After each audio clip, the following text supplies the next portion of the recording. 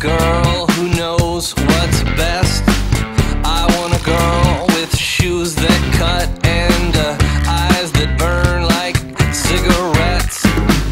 I want a girl with the right allocations who is fast and thorough and sharp as a tack. She's playing with her jewelry, she's putting up her hair, she's touring the facility and picking up slack.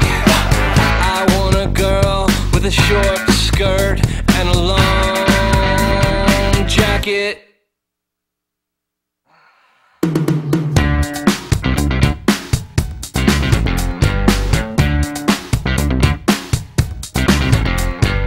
I want a girl who gets up early.